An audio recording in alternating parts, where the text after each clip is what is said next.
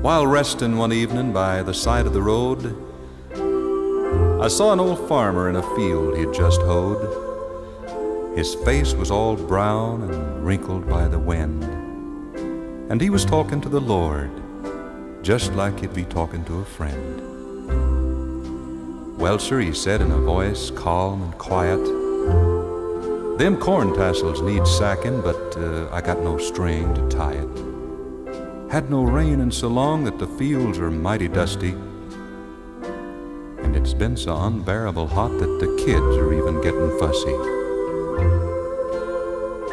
Now that grass down in the pasture should be knee high.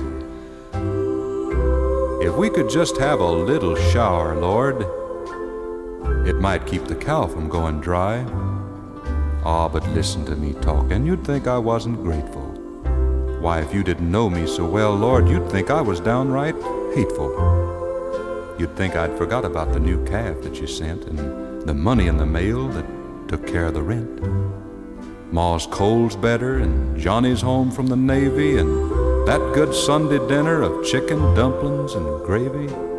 The new preacher you sent us, Lord, he sure is a fine young man. Why, he's just converting them sinners to beat the band. Well, guess I'll be moseying along, Lord.